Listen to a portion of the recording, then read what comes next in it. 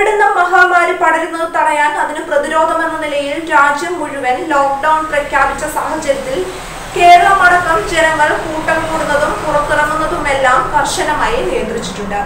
പോലീസിന്റെ കണ്ണ് നേരിട്ട് ചെല്ലുന്ന നഗരപരിധികളിൽ പോലീസ് നേരിട്ടിറങ്ങി കാര്യങ്ങൾ നിയന്ത്രിക്കുമ്പോൾ ഗ്രാമങ്ങളിലും ഉൾനാടൻ പ്രദേശങ്ങളിലും പോലീസിന്റെ കണ്ണ് വെട്ടിച്ച് ചിലർ ലോക്ക്ഡൌൺ ലംഘിക്കുന്നുണ്ട്. ഇത്തരക്കാരെ കണ്ടെത്താൻ ഇപ്പോൾ പോലീസിനെ സഹായിക്കുന്നത് ഡ്രോൺ ക്യാമറകളാണ്. ഇത്തരത്തിൽ ഡ്രോണിലെ കാഴ്ചകളെല്ലാം കൂട്ടിച്ചേർത്ത് കേരള പോലീസ് വീഡിയോ പുറത്തുവിട്ടിരിക്കുകയാണ്. ഡ്രോൺ ചരിതം രണ്ടാം ഭാഗം സോഷ്യൽ മീഡിയയിൽ ചിരി പടർത്തുകയാണ്. കഴിഞ്ഞ കുറേ ദിവസങ്ങളായി സംസ്ഥാനത്തിന്റെ പല ഭാഗങ്ങളിലും ഡ്രോൺ ഉപയോഗിച്ച് പോലീസ് നിരീക്ഷണം കർശനമാക്കിയിരുന്നു. തുടർന്ന് ലോക്ക്ഡൌൺ ലംഘിച്ച് പുറത്തിറങ്ങിയ നിയമലംഘകരെ പോലീസ് കണ്ടെത്തി പിടികൂടുകയും ചെയ്തിരുന്നു. ഇപ്പോഴിതാ ആ ഡ്രോൺ കാഴ്ചകളെല്ലാം കൂട്ടിച്ചേർത്ത് കേരള പോലീസ് വീഡിയോ പുറത്തുവിട്ടിരിക്കുകയാണ്. ഡ്രോൺ കണ്ടതോടെ കൂട്ടത്തോടെ ആളുകളോട് രക്ഷപ്പെടുന്നതാണ് വീഡിയോയിലുള്ളത്. പലരും തലയിൽ മുണ്ടിട്ടും മുഖം മറച്ചുമെല്ലാം ഓടി രക്ഷപ്പെടുകയാണ്. ഡ്രോൺ ചരിതം രണ്ടാം ഭാഗം എന്ന തലക്കെട്ടോടെ കേരള പോലീസ് പങ്കുവച്ച ഈ വീഡിയോ സോഷ്യൽ മീഡിയയിൽ വലിയ ചിരി പടർത്തുകയാണ്. പെറ്റമ്മ പെറ്റിട്ട ജന്മനാടിന്റെ മാനാഭിമാനത്തിന് കളങ്കമേൽക്കാതിരിക്കാൻ കപ്പിനും ചുണ്ടിനും ചുണ്ടിനുമിടയിലൊരു നൂൽപ്പാലം മുറിച്ചു കിടക്കാൻ മുഴുവൻ കായികാസ്വാദകരെയും സ്വാഗതം ചെയ്യുന്നു. കളിയല്ല ഇന്ന് തീക്കളിയാണ്.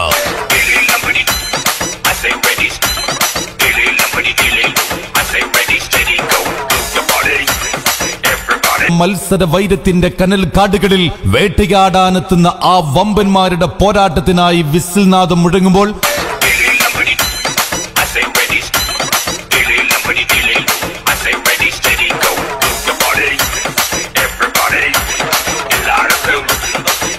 മാറിയ കാലത്തിന്റെ മാറ്റങ്ങൾക്കൊപ്പം മിന്നായം പോലെ മിന്നിമറിഞ്ഞ് ഇടിമിന്നൽ പോലെ എതിരാളികളുടെ പ്രതിരോധം തീർത്ത ആലികിലേക്ക് തുളഞ്ഞു കയറുന്ന ലെഫ്റ്റ് വിംഗ് കളിത്തട്ടിലിൽ അംഗം ജയിക്കാനെത്തുമ്പോൾ എതിർഭാഗത്ത് ഒരു പട വരുന്നു. തകർക്കാൻ കഴിയാത്ത ആ പടപ്പോരാളികൾ എതിരാളികളുടെ ശ്വാസമിടിപ്പ് പോലും അളന്നറിഞ്ഞ ശരീരത്തിലെ രോമക്കുറ്റിൽ നിന്നും ഒലിച്ചിറങ്ങുന്ന പേടികിട വിയർപ്പ് കണം തന്റെ പൂച്ചക്കണ്ണിലൂടെ ഒപ്പിയെടുക്കുന്ന